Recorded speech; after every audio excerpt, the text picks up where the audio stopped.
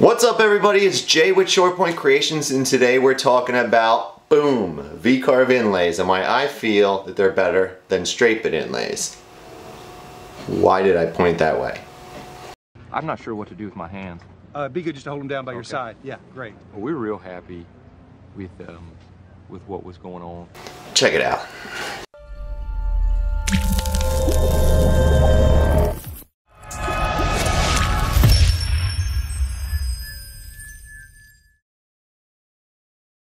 When it comes to inlays, you have two main types. One is a straight bit, which is really like a puzzle. You know, you have your socket here, you have your inlay here, and it's got a straight bit to cut it, which means the walls are straight here, and this has to fit together.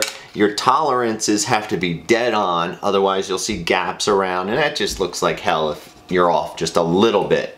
Uh, plus, when you're milling something like this, look at that.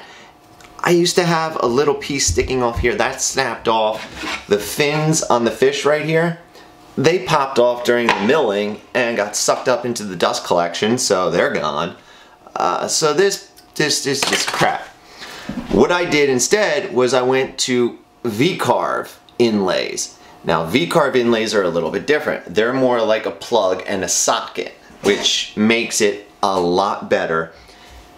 The reason is you don't have to be as exact on your tolerances because the whole plug doesn't go into the socket. Some will stick out and what you do is just take a bandsaw, shave off what's sticking out, sand it up, and it looks really nice. So if you want to check out how to make a V-carve inlay, here we go.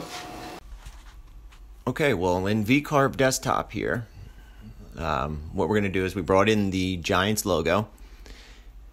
And we're going to create the pocket first. So part of your, when you do an inlay, you have a pocket and then you have the inlay, which goes inside the pocket. So to create the pocket, we need to cut out this area here. And we do that with a V-bit. So we can just highlight this, come over to the toolpath side, select our V-carve engraving toolpath. Okay, we can do 0.25 works. I use my 60 degree V-bit. Um, we don't need a flat area clearance tool. And this one we're just going to call pocket. Calculate that, and then you can preview it. Okay, so now there you go. So that's going to be our pocket. Now we need to create the inlay portion. So let's go back to the drawing tab, go to our 2D view, go down to layers here. So click on the layers tab, highlight everything, right click on it, go to copy to layer, and do new layer. Call it inlay, and make it visible and active. Okay, now we're on the inlay layer. We can turn off the pocket layer, so we hide that. Okay, now for the inlay, we go back to the drawing tab. Here's what we need for the inlay itself we need to keep this portion here. Okay, we need to remove the outside because we need to put this in the, in the pocket. So, first things first, the most important thing when you go to lay this on top of the pocket, it needs to be reversed. So, come up to mirror and flip it horizontally. Now, how would you get all this to cut out and this to stay? Well, it's really simple. Just come up to the rectangle tool and draw a rectangle giving space around the entire logo. Okay, close it. You can highlight everything again. Go back to the toolpad or toolpath. Go to the V-carve engraving toolpath. Do 0.25 and go ahead select your 60 degree V-bit. You could use a flat area clearance tool to remove this, but I'm just going to use the V-bit. It's a small one, so we'll let it go. Name it inlay and calculate. Now if we reset the preview and we just preview the selected toolpath of the inlay,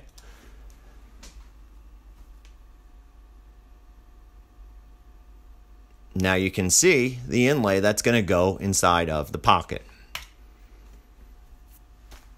Now we can head over to the CNC software and send the G code to the CNC machine.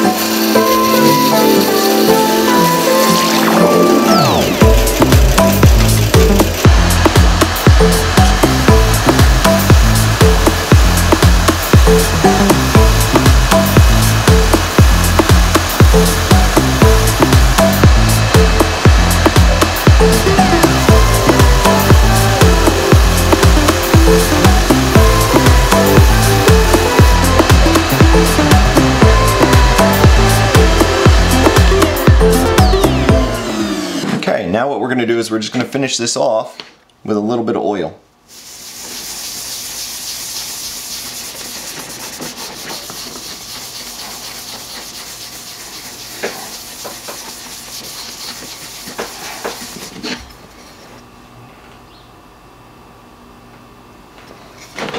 And as you can see, if we can get up close, all these little spots here, it fills in perfectly. You don't have to worry about dealing with such small pieces and will they, you know, crack or break. They're perfect every time. Every inlay I do that's V-carved works. It just works. So that's why I prefer V-carve inlays compared to straight bit inlays. Now I use V-carve desktop by Vectric, uh, but with V-carve technology or functionality built into Easel Pro by Inventables, you know, anybody with an X-Carve can now do something like this without spending the money on Vectric software. So if you like this video, please hit that like button, share it with a friend, and please, please subscribe. We've got a lot of videos like this, plus we give away tools after our tool reviews, so please hit that subscribe button, and we'll catch you next time. Go Giants. Not this year. feel like a Jet fan.